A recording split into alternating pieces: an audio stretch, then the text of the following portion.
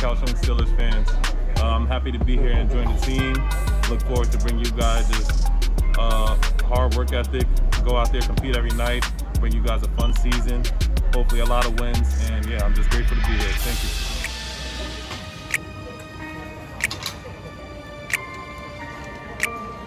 All right, see you, bro. All right, take care.